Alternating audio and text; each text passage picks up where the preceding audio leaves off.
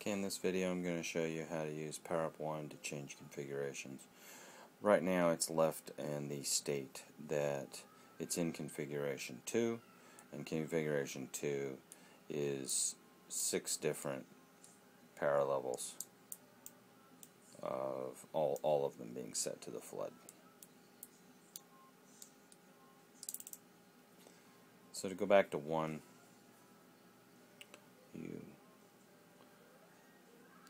you do your power up. One.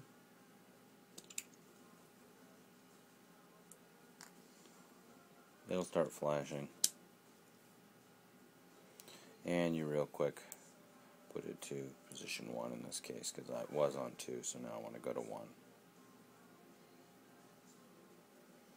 and uh, you turn it off and now it is on configuration 1 which is a factory default configuration. You can see there by the first three positions.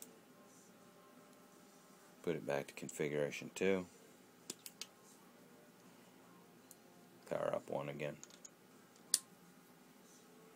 And while it's flashing, put it on 2. I just spun it off real quick and counted 2 off.